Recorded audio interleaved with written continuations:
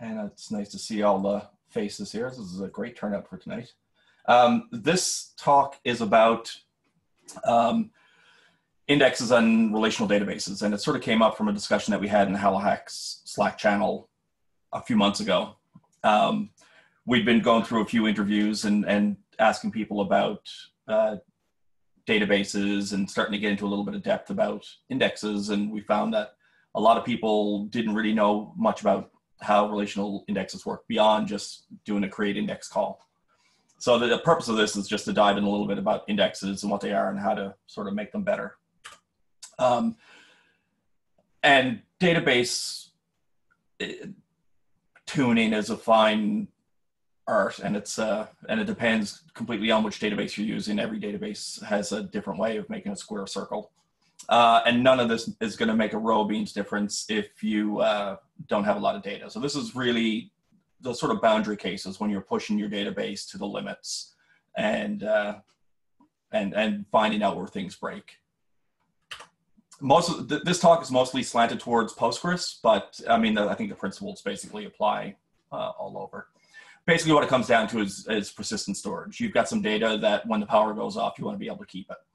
Um, with old hard drives, it was literally a spinning platter with heads that moved across them, and and there was you know actual time delays and physical access there. Solid state drives make it a little bit better. I mean, actually, they make it a lot better, but um, you still have the same same problem um, that you you have to move bits around. So the strategy ultimately for using any relational database is to uh, minimize disk access the, the less you have to go out to a slow medium, the better. So um, it's physics, right? How do you move the bits around? So the more you can keep in RAM, the better. RAM is just a lot faster than disk. Um, obviously, you can't store your whole database in RAM, so you had to store some smaller portion of it in so that you can get to the disk and only read the stuff from the disk that you actually need. Um, so whether it's MySQL or Postgres or SQL Server or whatever, they're all basically relational databases. Um, you know, even like Elasticsearch and stuff. I, I, mean, they base the principles are largely saying there are some MapReduce uh, principles with some of them, but um, if you if you're really into big data, then you have to start looking at other strategies other than relational databases. So columnar databases or distributed uh, MapReduce type databases, and there's a, a bunch of really cool ones out there. I'm not going to talk about those, so time series databases are another neat one. If you've got something that's that's sort of time indexed, there are databases you can get that just do a great job with it. Um, so imagine you're running your database on a Raspberry Pi, right? A very slow machine, uh, very excessively slow trying to read and write from that flash drive. Um, and if you can keep it in memory, all the better you don't have a whole lot of options with relational databases in terms of scaling them up. You basically you can just throw more memory at it. Uh, there are tricks you can do with read replicas and things like that, but ultimately to a database, you just had to start getting into vertical scaling. Uh, and if you look at the difference in, in throughputs of like RAM at about 16 gigabits per or, or gigabits per second, and then a SATA protocol which is you know about six, or and then a solid state drive, which is about 500 megabits per second. Uh, you can see that the the more you can keep in memory, the better. So when you're sizing out your database server, throw as much memory at it as you can afford. Uh, the disk itself is actually pretty cheap. So what is a, a, an index? First of all, it's it's just a data structure, and it's typically modeled as a B tree. And if you did your computer science, you know what a B tree is. It's just a like a, a tree structure that uh, has very efficient inserts. So you don't have to rebalance the whole tree after every time you add something new to it. You can grow a node uh, relatively inexpensively. So you have an index per column in your database. So if you have name, address, phone number, you would have an index for each of those. And if you don't have an index, basically the, the rows of your database go in in the order that they were inserted. So they're just all over the place. Uh, they don't usually get moved around once they get written. They're pretty well written for good. Um, so if you don't have an index, you're basically doing a table scan. So if you've got a million rows in your database, you're starting at record one and you're going all the way to record 1 million to try and find what you need. So obviously that's a lot of disk access and that's the thing we want to avoid. Uh, one thing that you'll hear a lot is when the database is slow, uh, people say, well, just you're missing an index, just throw an index at it. Uh, but there's a lot of catches with that. Um, you can't keep your index in memory, right? Uh, typically, especially when you start to hit scale. Um, so what the databases will do is they'll move data in and out. Um, they'll move data in and out of uh, out of memory and move it to disk, and they'll page in just like your operating system does. They'll page in data a little bit at a time. But that's re- that's a resource contention problem. Then now you've got your index fighting with your regular data on your disk, so you can only get into there so often. Now you can partition your index and put it on a different drive and things, which is not a bad idea. But basically, you want to try and minimize that anyway. So the next section is basically some uh, some uh, well, look at the look at the picture. What does that mean? sage advice. So here's some sage advice for uh, how to use your indexes effectively. And and like I say, I mean this this is for most cases, but um, uh, you know every database is different, and you know you're gonna want to mess with it. So the number one thing is try not to make your primary index on a fat field. And a fat field is like text or JSON or UUIDs or uh, variable characters. Um, th these things are just big and they just take up a lot of memory. Now, sometimes you can't avoid it. I know a lot of people like to create columns that are UUIDs and they go, oh yeah, but I know it's unique. And, and if you can change that to a, an integer or something, you'll save yourself a lot of headaches. Uh, there, there is pros and cons to doing that though. Just use less bytes, right? Uh, normalize your database. If you're not familiar with normal uh, database normalization, just do a Google on it. There's just look for normal forms. There's you know first, second, third, fourth, fifth, sixth normal form. Um, but basically, it, it sort of gives you ways that you can share your indexes across multiple tables uh, if you denormalize your data. There's a bit of a, a, a, religious argument about this stuff. It's like some people say, well, disk is cheap, so fully denormalize your data, and then you can just pull in more rows. Uh, that's a great discussion to have over beers afterwards. Um, but uh, in in general, normalizing your database is, is a, a, great strategy. Partial indexes. This is one that I don't know why more people don't do it. Um, your create index call can take a where clause. So don't index the data that you don't need. Um, so if you've got, uh, like in this case here, this is a job index, and the the index is only going to index where the state of the job is running, because who cares if the job has failed or if it's done or whatever. Maybe you've got some other index for that, like a job ID or something. But if you want to find running jobs, just index those. If your if your index only has a couple of fields in it, then you're basically doing a table scan, but just on a smaller section of it. Um, you can create indexes across multiple columns. And if you look at the bottom there, it says create index foo on table, column this, column that. Um, because you can do it doesn't make it a good idea. You can drive a car with your feet doesn't make it a good idea. Um, so if you can, prefer single, multiple single column indexes over uh, multi-column indexes. So for example, if you look on the right over there, if I, in this case, I've got a multi-column index on this and that, if I do a select and I supply nice and fast. If I do a, um, a query on the first part of the index, the this part, great. But if I only do an index on the second part, not so great. Then it has to basically do a table scan on that part of the index until it can find the second part. Um, multiple column indexes are really good for time series databases uh, or for time series related tables, but uh, other than that, try and avoid them look for high cardinality on your uh, index columns. So things that have big variation in them. Booleans are terrible. Uh, enums that only have like six or seven different values or, you know, a, a couple of dozen values. Probably not that great.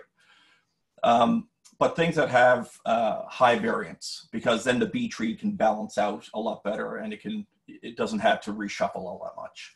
Now, I, I know earlier I said don't use UUIDs. Um, if you have to use them, you know, at least they have high variation on them. Uh, so floats are actually pretty good too because it depends on your range of your floats. But uh, and then this is just some common sense stuff. Um, put telemetry on all your queries uh, so you can see, you know, put most databases have a slow query log. Enable that, get alerts on it, find out when you've hit some new level in your in your access.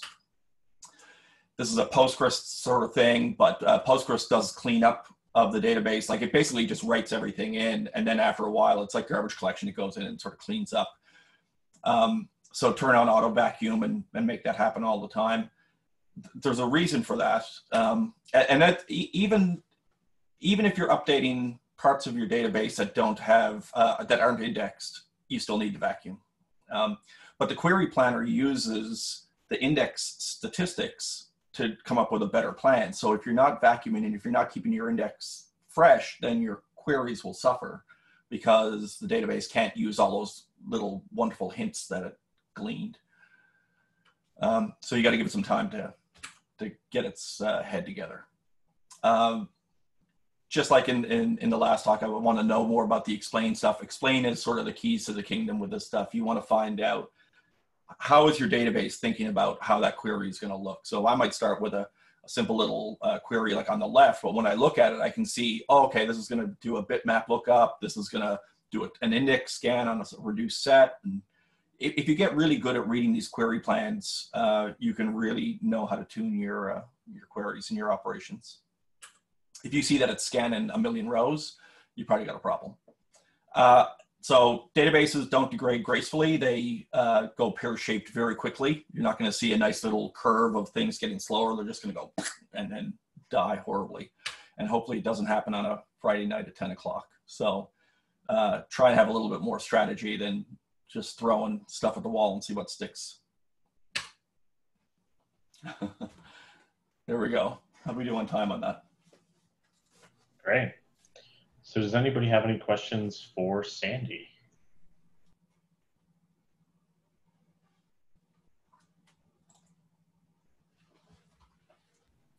Everyone just knows everything about database indexes right now. So I, I have a question. Um, I've raised my hand, but no one says, so I just jump in.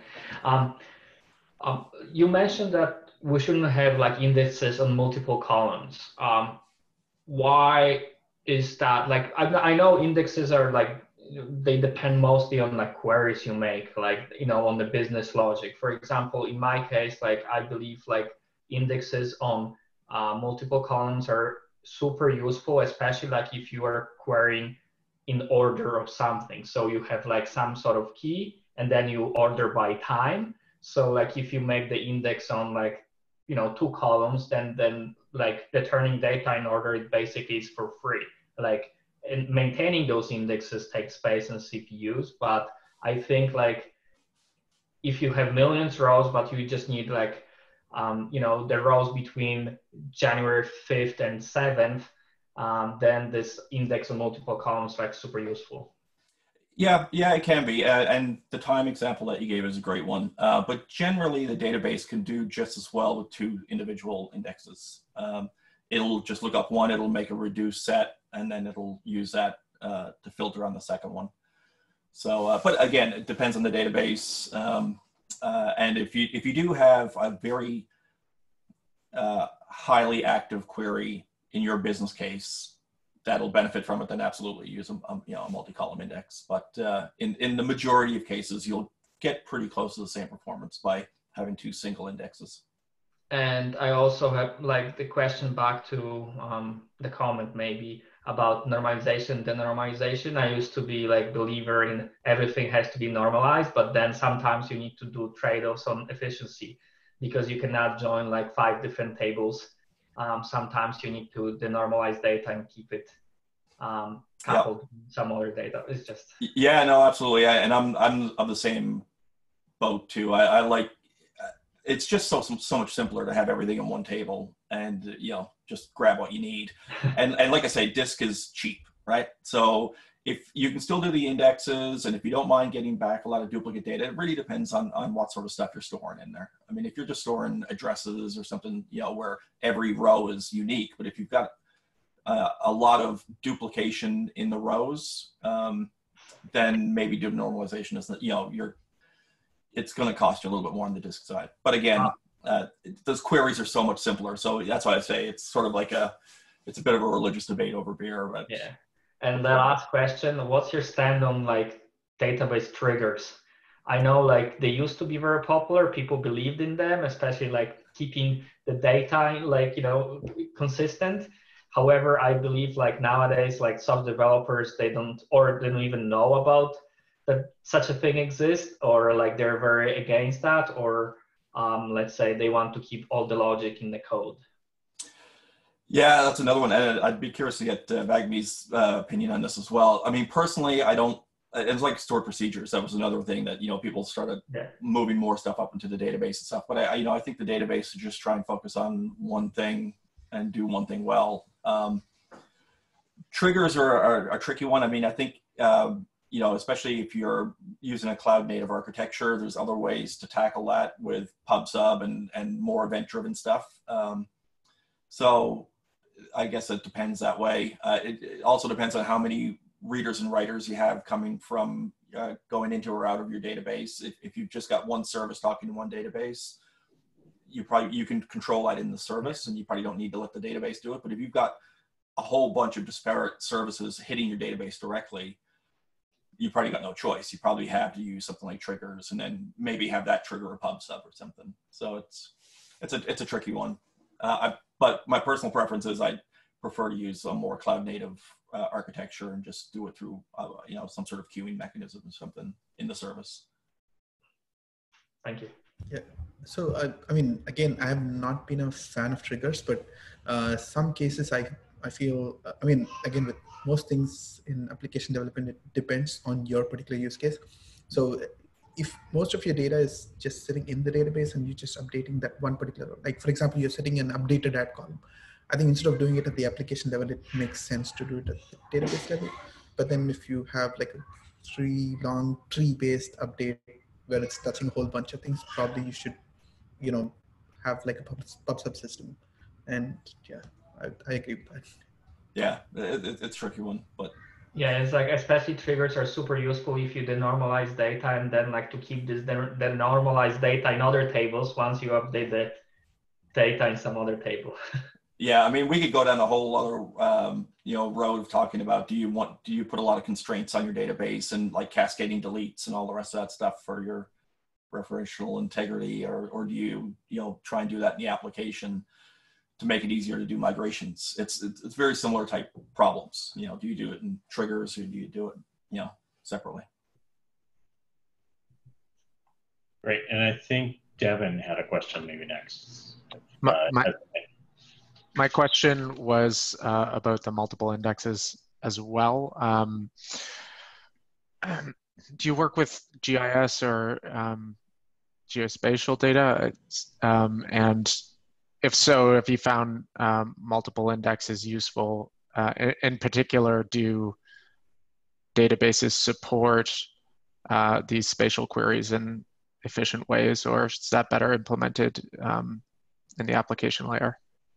Uh, yeah, that's a timely one. That's sort of what we do is all geospatial stuff. Uh, what we, I mean, Postgres is great for that. There, there's PostGIS, which gives you all the GIS extensions for for all those sort of operations. Um, you know, polygon intersections and, uh, you know, point inclusions and all, all that sort of stuff.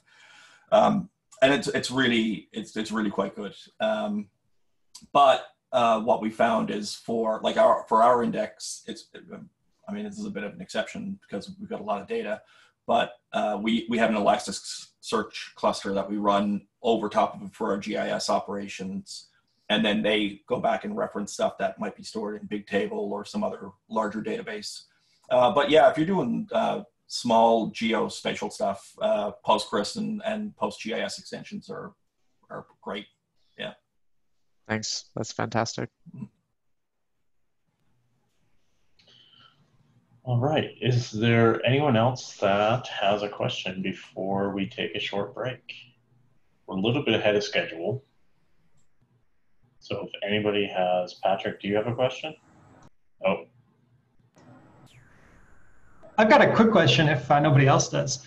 Uh, Sandy, you mentioned that you're working with Elasticsearch and Postgres. Um, we have a, a Lucene database or whatever it is that we're looking to better integrate with our Postgres data. Have you had any luck with doing that in any layer but the application layer? There's things like uh, ZomboDB that act as a foreign data wrapper. Uh, I've played with full text search in Postgres. I haven't quite found the right fit. Um, you any experience integrating them well? No, we try and keep to vanilla Elastic and uh, and then store uh, some indexes afterwards, and then go out to Bigtable and and grab stuff from there. But uh, I mean, it's it's hard enough that we found anyway. It's hard enough just trying to maintain an Elastic uh, cluster at, at scale uh, without having to worry about you know more extensions and add-ons to it. It depends on your application. Yeah. And one more thing is like just remember. I, I believe from my experience is like you always need to choose the right the right tool for the right job. Uh, because like yes you can do in database like query like and something. However probably like yes if it's like just a little bit of data yes you can do it. However if you want to do anything like with search uh, like uh, text search then switch to elastic. Um, it is like theoretically as like uh, sandy said like you can do like geo space like indexes in database, but technically it's allowed, but I don't know if you want to do it. Same like you can index based on like JSON fields, I think in Postgres SQL, like technically maybe it will work, but do you want to run on it? I don't know. Yeah, and, and, again, it comes down to the index, right? Like if you can do the majority of the, the, the, query planners are really, really good. I mean, that's ultimately what they do. A database is an operating system, right? It's an operating system that sits on an operating system. Um, but they, if you can get that query to eliminate, you know, 99% of all the all the rows that you need and just get it down to a few that had, they had to do some geo operations on, it'll be absolutely fine.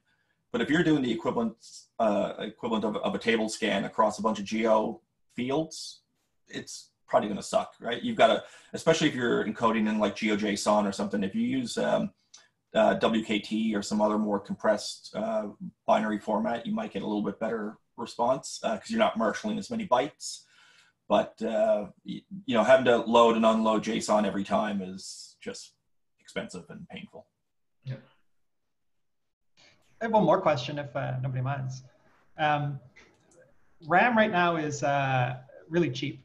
Uh, you can get 128 gigabytes, uh, and we, we, we don't operate on the cloud for some of our development databases. Do you have any kind of high level thoughts about how you'd think about indexes if you can fit your whole data set in memory? Like, is there a best practice from don't use them at all to use them only for partial indexes or filtering or? Yeah, no, if you can do it, great. I mean, if you can, if you can, um, the, the, a lot of the problem is from a cold start, right? You need to have a hot index, right? So you can persist the whole thing and load it all, but if you can load all that into memory, absolutely knock yourself out. It's you're it's going to be the best you can get. Right? Yep. Just just one comment that I mean, even if you have everything loaded in memory, uh, if you have an index, it would give you an offset directly onto the jump. Otherwise, it still has to go through the O1 or ON of uh, if it has to do a full table scan. So your memory would still be good. I mean, you, you, it would still be nice to have this thing. And if you have a lot of RAM, then, I mean, you could just uh, have do ramfs and mount the, mount at least, I mean, you could, Postgres allows you to create table spaces. So you could create a table space where that's essentially sitting in memory for you. So that might actually give you a huge boost in performance. Yeah, that's, that's, that's absolutely. I mean, one one common pattern you see is people will throw um, like um, Redis in front of it, and they'll they'll use Redis as their cache in front of their database. And it's like, well, what would happen if you just threw more memory at the at the database and let it do what it does best? Because, like I say, it's an operating system. It's it's a very complex piece of software, and uh, it it's highly efficient for moving stuff in and out of memory. So maybe you'll get better efficiency than you know doing it in the application level and uh, uh, level and, and using Redis.